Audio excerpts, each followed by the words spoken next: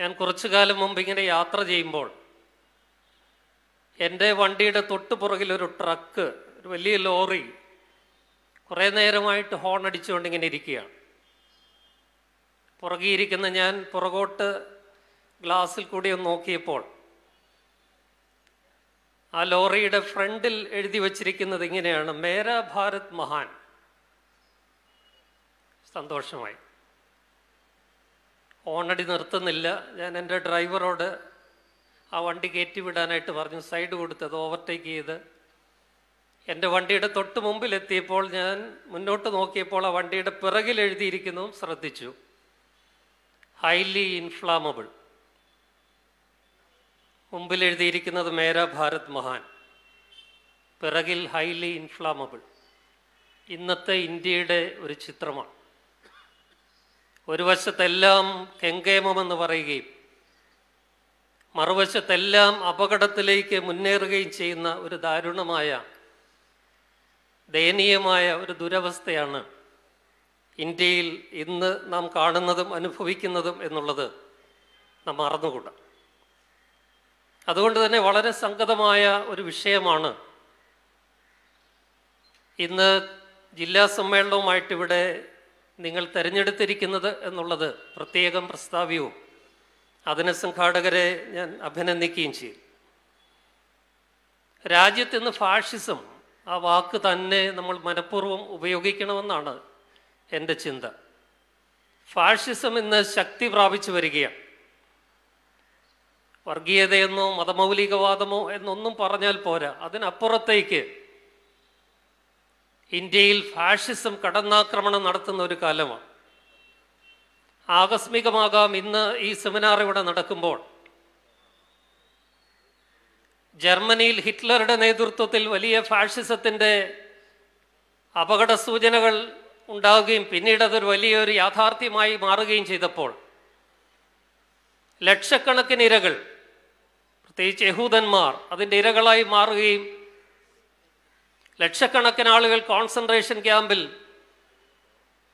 അകപ്പെടുകയും പിന്നീട് വധിക്കപ്പെടുകയും ഒക്കെ ചെയ്ത ആ ദുരവസ്ഥയുടെ നാളുകളിൽ ആദ്യം ഫാഷിസത്തെ ഹിറ്റ്ലറെ മനസ്സിലാക്കാതെ അനുകൂലിക്കുകയും എന്നാൽ പിന്നീട് മനസ്സിലാക്കിയപ്പോൾ എതിർക്കുകയും അതിനെതിരെ ശബ്ദമുയർത്തുകയും അതിന്റെ പേരിൽ കോൺസെൻട്രേഷൻ ക്യാമ്പിൽ അടയ്ക്കപ്പെടുകയും ഒക്കെ ചെയ്ത് ഭാഗ്യം കൊണ്ട് മാത്രം രക്ഷപ്പെട്ട മാർട്ടിൻ നീമൂളർ എന്ന് പറയുന്ന ഒരു ക്രൈസ്തവ പുരോഹിതനുണ്ടായിരുന്നു. അദ്ദേഹത്തിന്റെ നൂറ്റി മുപ്പതാമത്തെ ജന്മദിനമാണ് ഇന്ന് അദ്ദേഹം ഇന്ന് ജീവിച്ചിരുന്നുവെങ്കിൽ നൂറ്റി മുപ്പത് വയസ്സാകുമായിരുന്നു. നീമൂളറെ അനുസ്മരിച്ചുകൊണ്ട് ഇന്ന് ദേശാഭിമാനി പത്രത്തിൽ ഒരു ലേഖനമുണ്ട്. ചിലരെങ്കിലും അത് വായിച്ചു കാണും. അദ്ദേഹം പ്രസിദ്ധനായത് അദ്ദേഹത്തിന്റെ ഒരു ഉദ്ധരണി കൊണ്ടാണ് പ്രസ്താവന കൊണ്ടാണ്. അദ്ദേഹം പറഞ്ഞ വാക്കുകൾ ഇതാണ്. First they came for communist. I did not speak up because I was not a communist. ഹിറ്റ്ലറുടെ ഫാഷിസ്റ്റ് ശക്തികളെക്കുറിച്ചാണ് അവർ ആദ്യം വന്നത് കമ്മ്യൂണിസ്റ്റുകാരെ തേടിയാണ്. ഞാൻ മിണ്ടിയില്ല ഞാൻ കമ്മ്യൂണിസ്റ്റ് അല്ലായിരുന്നു. Then they came for socialist I kept quiet because I was not a socialist പിന്നെ അവർ വന്നത് സോഷ്യലിസ്റ്റുകാരെ തേടിയാണ്. ഞാൻ മിണ്ടാതിരുന്നു കാരണം ഞാൻ ഒരു സോഷ്യലിസ്റ്റ് ആയിരുന്നില്ല. പിന്നീട് അവർ ട്രേഡ് യൂണിയൻ നേതാക്കന്മാരെ അന്വേഷിച്ചു വന്നു. ഞാൻ മിണ്ടിയില്ല. ഞാൻ ട്രേഡ് യൂണിയന്റെ ആളായിരുന്നില്ല. പിന്നീട് അവർ യഹൂദന്മാരെ തേടി വന്നു. ഞാൻ മിണ്ടിയില്ല. ഞാൻ ഒരു യഹൂദനായിരുന്നില്ല. But when they came after me when they came for me there was none left to speak for me അവസാനം അവർ എനിക്ക് വേണ്ടി എന്നെ അന്വേഷിച്ച് എന്നെ കൊല്ലാൻ വന്നപ്പോൾ എനിക്ക് വേണ്ടി സംസാരിക്കാൻ ആരും ശേഷിച്ചിട്ടുണ്ടായിരുന്നില്ല. ഈ ഒരു വലിയ മുന്നറിയിപ്പ് നമുക്ക് നൽകിയ നീമൂളർ എന്ന് പറയുന്ന അധീരനായ ക്രൈസ്തവ പുരോഹിതന്റെ നൂറ്റി മുപ്പതാമത്തെ ജന്മദിനത്തിൽ അദ്ദേഹം ഏത് മുന്നറിയിപ്പ് നൽകിയോ അതേ മുന്നറിയിപ്പ് ഇന്ന് പ്രസക്തമായിരിക്കുന്ന നമ്മുടെ ഇന്ത്യയിൽ. കോട്ടയത്ത് ആ വിഷയത്തെക്കുറിച്ചൊരു സെമിനാർ നടക്കുമ്പോൾ എത്ര ഗൗരവത്തോടു കൂടി നമ്മൾ ഈ വിഷയത്തെ എടുക്കണം എന്നുള്ളതിന്റെ ഒരു സൂചന മാത്രമാണത്. ആകസ്മികമാണ് കെ അനിൽകുമാർ സാറിന്റെ മതം ശാസ്ത്രം മാർക്സിസം എന്ന പുസ്തകം ഇന്ന് പ്രസിദ്ധീകരിക്കപ്പെട്ടത്. മതത്തെക്കുറിച്ച് മാർക്സിനുണ്ടായിരുന്ന ധാരണകൾ അദ്ദേഹത്തിന്റെ ചിന്തകൾ ഇവിടെ നിങ്ങളോട് പറയുന്നത് അതിനകത്തൊരു അനൗചിത്യമുണ്ടാകാം. എങ്കിലും ഈ പുസ്തകവുമായിട്ട് ബന്ധപ്പെട്ടും വിഷയത്തെ മുൻനിർത്തിയും എന്റെ പരിമിതമായ വായനയിൽ ഞാൻ മനസ്സിലാക്കുന്ന മാർക്സിന്റെ മതത്തെക്കുറിച്ചുള്ള കാഴ്ചപ്പാടുകളിലെ പ്രധാനപ്പെട്ട കാര്യങ്ങൾ. ഒന്ന് ലെനിൻ ഉൾപ്പെടെയുള്ളവർ പറയുന്നുണ്ട് ക്രൈസ്തവ വിശ്വാസത്തിന്റെ ആദിമ ക്രൈസ്തവ സഭയിൽ ഉണ്ടായിരുന്ന സോഷ്യലിസ്റ്റ് കാഴ്ചപ്പാടുകൾ. ബൈബിൾ പുതിയ നിയമം വായിക്കുമ്പോൾ അവിടെ മുഴുവൻ സോഷ്യലിസം എന്ന ആശയമാണ് വരുന്നത്. ആദിമസഭയിലെ ക്രൈസ്തവർ ജീവിച്ച ശൈലി എല്ലാം പങ്കിടുന്ന തുല്യമായി പങ്കിടുന്ന രീതി. ഇതെല്ലാം മാർക്സിസം സോഷ്യലിസം എന്ന ആശയത്തെ സ്വാധീനിച്ച ഘടകങ്ങളാണ് എന്നുള്ളത് എല്ലാവർക്കും അറിയാവുന്ന കാര്യമാണ്. അതുകൊണ്ട് മതത്തെ മതമെന്ന രീതിയിൽ തകർക്കുവാനോ നിരസിക്കുവാനോ അതിന്റെ നിരാസമൊന്നുമല്ല മാർക്സിസം പറയുന്നത്. ലെനിൻ തന്നെ പറയുന്നത് ഇ എം എസ് എല്ലാ കാലത്തും ഉദ്ധരിച്ചുകൊണ്ടിരുന്നതാണ്. പരലോകത്ത് സ്വർഗം പണിയാൻ ആഗ്രഹിക്കുന്ന വിശ്വാസികളും ഇഹലോകത്ത് സ്വർഗം പണിയുവാൻ ആഗ്രഹിക്കുകയും പ്രവർത്തിക്കുകയും ചെയ്യുന്ന കമ്മ്യൂണിസ്റ്റുകാരും ഒരുമിച്ച് സഹകരിക്കേണ്ടതിന്റെ ആവശ്യകതയെക്കുറിച്ച്. മാർക്സ് മതത്തെക്കുറിച്ച് എഴുതുകയും പറയുകയും ചെയ്യുമ്പോൾ അതിന് നാല് പ്രധാനപ്പെട്ട ഘടകങ്ങളാണ്.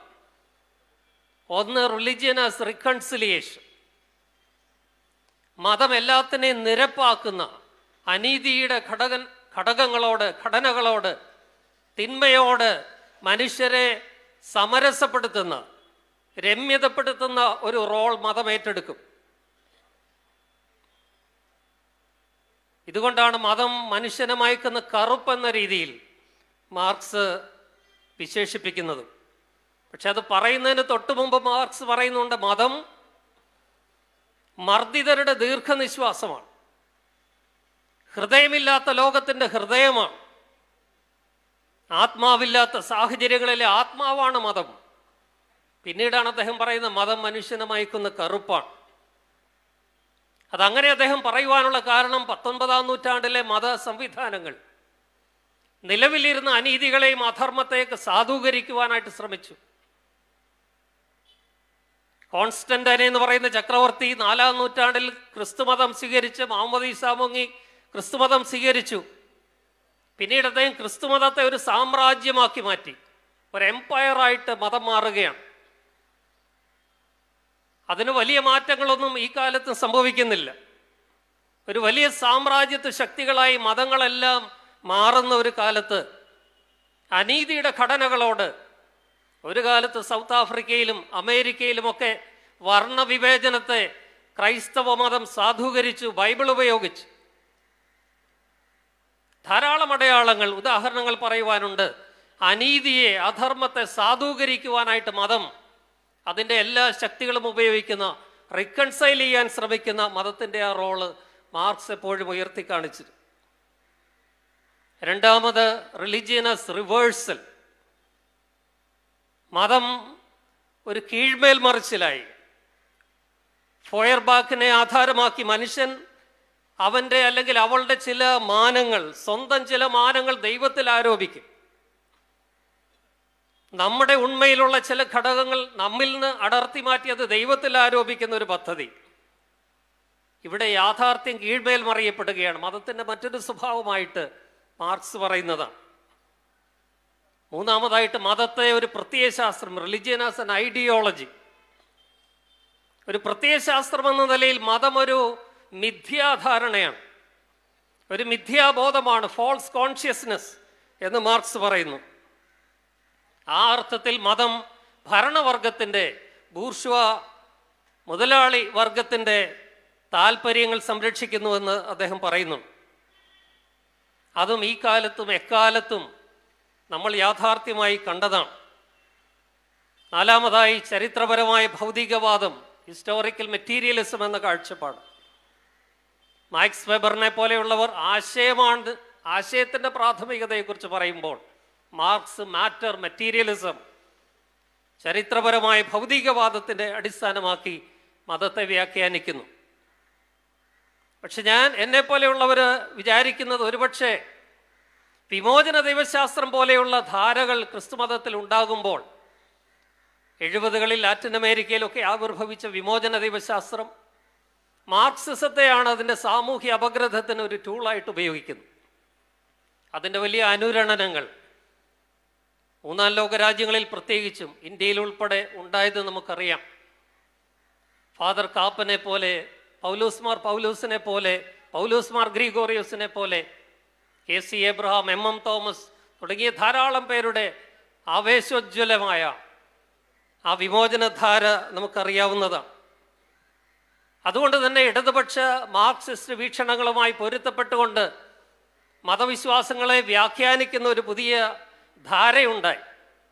അത് മാർക്സിന്റെ കാലത്തുണ്ടായിരുന്നെങ്കിൽ മാർക്സിന്റെ മതവിമർശനം വേറൊരു രീതിയിലാകുമായിരുന്നു എന്ന് ഞാൻ ചിന്തിക്കാറുണ്ട്. അതുകൊണ്ട് ഈ കാലത്ത് വിമോചന ധാരയിലുള്ള മതങ്ങൾ അത് വളരെ ചുരുക്കമാണെങ്കിൽ പോലും എല്ലാ മതങ്ങളിലും വിമോചനധാരയെ ഗൗരവമായിട്ടെടുക്കുന്ന ഒരു കൂട്ടമുണ്ട്.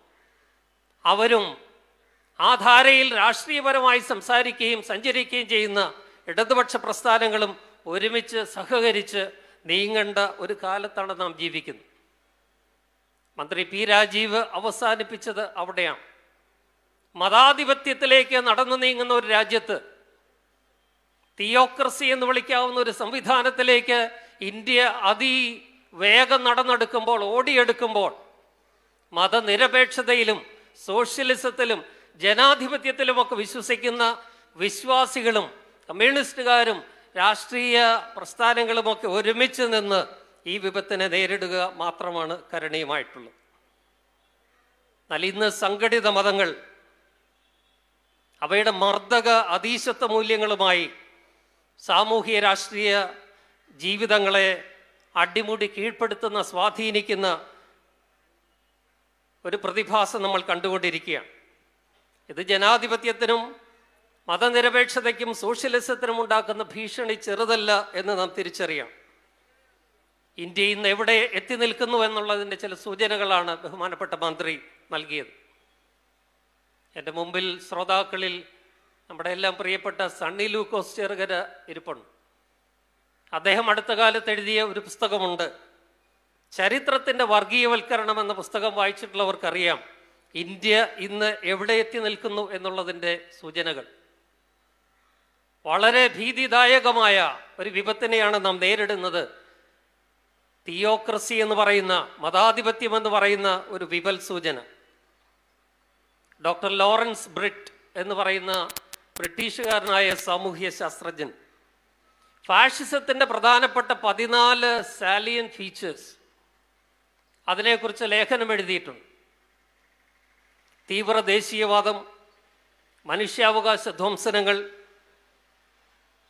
ചില ആളുകളെയും സമൂഹങ്ങളെയും ശത്രുക്കളായും ഇരകളായും കാണുക മിലിറ്ററിയുടെ അധീശത്വം തീഷ്ണമായ സ്ത്രീവിരുദ്ധത മാധ്യമങ്ങളുടെ സെൻഷറിങ് തിയോക്രസി തുടങ്ങിയ പതിനാല് മൂല്യങ്ങളാണ് ഫാഷിസത്തിന്റെ പ്രധാനപ്പെട്ട അടിസ്ഥാന സ്വഭാവങ്ങളായി ലോറൻസ് ബ്രിറ്റ് അവതരിപ്പിക്കും. ഈ ലേഖനം ആധാരമാക്കി ഇന്ത്യയിലെ സാമൂഹ്യ ശാസ്ത്രജ്ഞന്മാർ പലരും അഭിപ്രായപ്പെടുന്നത് ഫാഷിസത്തിന്റെ ഏറ്റവും പ്രധാനപ്പെട്ട പതിനാല് അടിസ്ഥാന ഘടകങ്ങളും ഇന്ന് ഇന്ത്യയിൽ രൂഢമൂലമായി കഴിഞ്ഞു എന്നുള്ളതാണ്. അതുകൊണ്ട് ഫാഷിസം അതിന്റെ പൂർണ രൂപത്തിൽ ഇന്ത്യയിൽ എത്തിക്കഴിഞ്ഞു. നമ്മുടെ അടുക്കള വരെ അതെത്തി എന്ന് പറയുമ്പോൾ എന്ത് ഭക്ഷണം കഴിക്കണം എന്നൊക്കെ തീരുമാനിക്കുന്നത് ഈ ഫാഷിസ്റ്റ് മത തീവ്രവാദ ശക്തികളാണ്. അതുകൊണ്ട് ഈ പതിനാല് ഫാഷിസ്റ്റ് ഘടകങ്ങളും ഉൾച്ചേരുന്ന ഒരു ഫാഷിസ്റ്റ് വ്യവസ്ഥിതി. ഞാൻ ജർമ്മനിയിലെ ഫാഷിസത്തെക്കുറിച്ച് ചില സൂചനകൾ നൽകി. എന്നാൽ അതിനേക്കാൾ തീവ്രമായ അപകടകാരിയായ ഒരു ഫാഷിസ്റ്റ് സംവിധാനമാണ് ഇന്ത്യയിൽ ശക്തമായി കൊണ്ടിരിക്കുന്നത് എന്നുള്ളത് നാം മറന്നുകൂടാ. കാരണം ഇവിടെ മതത്തിന്റെ ഒരു വലിയ അടിത്തറയിലാണ് ഫാഷിസ്റ്റ് സംവിധാനം ഇന്ത്യയിൽ നമ്മുടെ മേൽ അടിച്ചേൽപ്പിക്കപ്പെടും മന്ത്രി സൂചിപ്പിക്കുകയുണ്ടായി നമ്മുടെ കോൺസ്റ്റിറ്റ്യൂഷൻ പ്രിപ്പയർ ചെയ്യുമ്പോൾ ബാബാ സാഹിബ് ഡോക്ടർ അംബേദ്കർ രൂപകൽക്ക രൂപകൽപ്പന ചെയ്ത ലോകത്തിലെ ഏറ്റവും ഉദാത്തമായ ഭരണഘടന അത് കോൺസ്റ്റിറ്റ്യൂവന്റ് അസംബ്ലി പാസ്സാക്കുമ്പോൾ വോട്ടിട്ടാണ് ദൈവം എന്ന സംജ്ഞ വേണ്ട മതം എന്ന സംജ്ഞ വേണ്ട എന്ന് തീരുമാനിക്കുന്നു. അതിന്റെ സ്ഥാനത്താണ് ആ ഭരണഘടനയെ തകർക്കുന്ന അതിന്റെ അന്തസ്സത്തെ തകർക്കുന്ന മൂല്യങ്ങളുമായി പോളിസികളുമായി നയങ്ങളുമായി ഇപ്പോൾ മതതീവ്രവാദം ഫാഷിസം നമ്മുടെ മേൽ അടിച്ചേൽപ്പിക്കപ്പെടുന്നു. ഗോൾ വോക്കർ എല്ലാവർക്കും അറിയാവുന്ന പേരാണ്. എമ്മിൽ ആരംഭിക്കുന്ന മൂന്ന് ശക്തികളെയാണ് മൂന്ന് കൂട്ടങ്ങളെയാണ് അദ്ദേഹം ടാർഗറ്റ് ചെയ്യണമെന്ന് പറയുന്നു ഒന്ന് മാർക്സിസ്റ്റ് രണ്ട് മുസ്ലിംസ് മൂന്ന് മിഷണറീസ് ക്രിസ്ത്യൻസ്. ഈ തീവ്രവാദം ഈ ഫാഷിസം ശക്തി പ്രാപിക്കുന്ന ഒരു കാലത്ത് ഗോൾവാക്കർ പറഞ്ഞ മറ്റൊരു കാര്യം അദ്ദേഹത്തിന്റെ വലിയൊരു ഹീറോ ആയിരുന്നു ഹിറ്റ്ലർ. ഹിറ്റ്ലറിന്റെ വലിയ ഫാനായിരുന്നു അദ്ദേഹം. ജനാധിപത്യത്തെക്കുറിച്ച് അദ്ദേഹം പറഞ്ഞ് ജനാധിപത്യം എന്ന് പറയുന്ന ജനക്കൂട്ടത്തിന്റെ തോന്നിവാസമാണ്. ഇത് പറഞ്ഞ് ഗോൾവാക്കറിനെയൊക്കെ ആരാധിക്കുകയും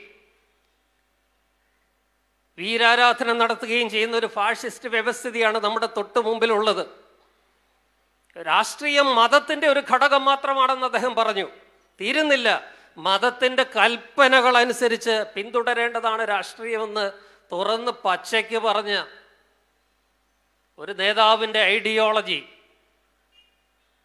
പ്രത്യയശാസ്ത്രം നമ്മുടെ മേൽ അടിച്ചേൽപ്പിക്കപ്പെടുന്ന ഒരു കാലത്ത് എങ്ങനെയാണ് നമ്മൾ ഇതിനെ നേരിടുക? അവിടെയാണ് മതേതര മതനിരപേക്ഷ ജനാധിപത്യ ശക്തികൾ വിശ്വാസത്തിൽ നിന്നും അതീതമായി വിശ്വാസിയാകാം അവിശ്വാസിയാകാം ആ മൂല്യങ്ങളിൽ പ്രതിബദ്ധതയുള്ളവരെല്ലാവരും ഒരുമിച്ച് നിൽക്കേണ്ടത്. ഏതെങ്കിലും സാധ്യതയുണ്ടായിരുന്നുവെങ്കിൽ നമ്മുടെ കോൺസ്റ്റിറ്റ്യൂഷൻ തന്നെ ഇല്ലാതാകുമായിരുന്നു. പക്ഷേ ജനാധിപത്യം അതിൽ വിശ്വസിക്കുന്ന ശക്തികൾ ഇപ്പോഴും ബാക്കിയുള്ളതുകൊണ്ട് ഇടതുപക്ഷ പ്രസ്ഥാനങ്ങളൊക്കെ വളരെ ശക്തമായ ഇടപെടലുകൾ നടത്തുന്നത് കൊണ്ടാണ് നമ്മുടെ ഭരണഘടന ഇന്നും പേരിനെങ്കിലും നിലനിൽക്കുന്നത്. രാജ്യത്തിന്റെ വിവിധ ഭാഗത്ത് ന്യൂനപക്ഷങ്ങളുടെ മേൽ നടക്കുന്ന ആക്രമണങ്ങൾ. കേരളത്തിൽ മാത്രമാണ് അതിനൊരു അപവാദം. ചെറിയ ചെറിയ സംഘടനകളോ പ്രശ്നങ്ങളോ അവിടെ ഇവിടെ ഉണ്ടാകുന്നത് ഒഴിച്ചാൽ ഈ ഫാഷിസ്റ്റ് ശക്തികൾക്ക് ഇവിടെ ആധിപത്യം സ്ഥാപിക്കാതിരിക്കാൻ സാഹചര്യമുണ്ടായത് ഇവിടുത്തെ ശക്തമായ ആഴത്തിലുള്ള ഇടതുപക്ഷ മതനിരപേക്ഷ ശക്തികളുടെ ബലമാണെന്നുള്ളത് നാം തിരിച്ചറിയണം. കൺവേർഷനെതിരെയുള്ള നിയമങ്ങൾ പല സംസ്ഥാനങ്ങളിലായി നിയമ നടപ്പിലാക്കി വരികയാണ്. സംവരണത്തെ അട്ടിമറിക്കാനുള്ള നീക്കങ്ങൾ എല്ലായിടത്തും നടക്കുകയാണ്. അയോധ്യ ഗോധ്ര കണ്ടമാൽ പേരുകൾ ഉദാഹരണങ്ങൾ അനവധിയാണ്.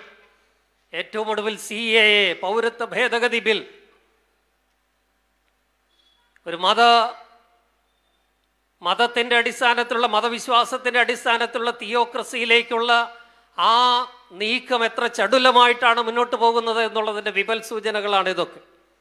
പ്രൊഫസർ രാജശ്രീ ചന്ദ്ര ഇന്ത്യയിൽ നിലവിലിരിക്കുന്ന സംവിധാനത്തെ വിശേഷിപ്പിക്കുന്നത് what we have in India today is a constitutional theocracy വെറും തിയോക്രസി അല്ല കോൺസ്റ്റിറ്റ്യൂഷന്റെ മൂടുപടമുള്ള കവറുള്ള ഒരു തിയോക്രസി മതാധിപത്യ വ്യവസ്ഥിതിയിലേക്കാണ് നമ്മൾ മാറിയിരിക്കുന്നത് എന്ന് സാമൂഹ്യ ശാസ്ത്രജ്ഞന്മാർ നമ്മളെ ഓർപ്പിക്കുകയാണ്.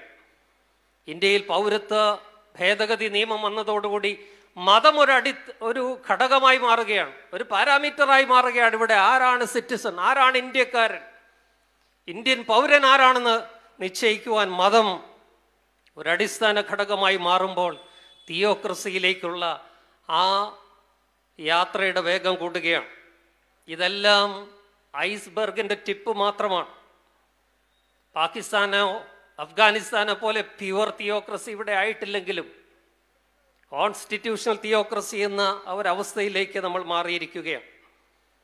അതുകൊണ്ട് ജാഗ്രത പാലിക്കുവാനുള്ള ഈ കാലത്ത് ഇടതുപക്ഷ മതനിരപേക്ഷ ജനാധിപത്യ ശക്തികൾ അവർ വിശ്വാസികളാകട്ടെ അവിശ്വാസികളാകട്ടെ മതത്തിൽ വിശ്വസിക്കുന്നവരാകട്ടെ മത നിഷേധികളാവട്ടെ അവർ ജനാധിപത്യത്തിലും മതനിരപേക്ഷതയിലും മനുഷ്യത്വത്തിലും മാനവികതയിലും സാഹോദര്യത്തിലും വിശ്വസിക്കുന്നവരാണെങ്കിൽ സ്ഥിതി സമത്വത്തിൽ വിശ്വസിക്കുന്നവരാണെങ്കിൽ അവരെല്ലാവരും ഒരുമിച്ച് നിന്ന് ഈ വളരെ അപകടം പിടിച്ച ഫാഷിസ്റ്റ് മതതീവ്രവാദ മതാധിപത്യ ഭരണക്രമം നമ്മുടെ മേൽ അടിച്ചേൽപ്പിക്കപ്പെടുന്ന ഈ കാലത്ത് ഒരുമിച്ച് നിന്ന് ജാഗ്രത പുലർത്തുവാനും പ്രതിരോധം തീർക്കുവാനുമുള്ള കർത്തവ്യം ഏറ്റെടുക്കുവാൻ നമുക്കെല്ലാവർക്കും സാധിക്കട്ടെ എന്ന് ആശംസിക്കുകയും ആ ഒരു യജ്ഞത്തിൽ നമുക്കെല്ലാവർക്കും ഒരുമിച്ച് നിൽക്കുവാൻ കഴിയട്ടെ എന്ന ആഹ്വാനത്തോടു കൂടി ഈ സെമിനാറിൽ പങ്കെടുക്കുവാനായിട്ട് എന്നെ ക്ഷണിച്ച സംഘാടകരോട് പ്രത്യേകിച്ച് പ്രിയ സുഹൃത്തു കൂടിയായ അഡ്വക്കേറ്റ് കെ അനിൽകുമാർ അദ്ദേഹത്തിന്റെ പുസ്തകത്തിന്റെ ആദ്യ പ്രതി സ്വീകരിക്കുവാൻ സാധിച്ചതും ഒരു പദവിയായി അംഗീകാരമായി കരുതുകയും നന്ദി അറിയിക്കുകയും ചെയ്യുന്നു. എല്ലാവർക്കും പുതിയ വർഷത്തിൽ എല്ലാ മംഗളങ്ങളും നേർന്നുകൊണ്ട് ഞാൻ എന്റെ വാക്കുകൾ അവസാനിപ്പിക്കുന്നു. നന്ദി നമസ്കാരം.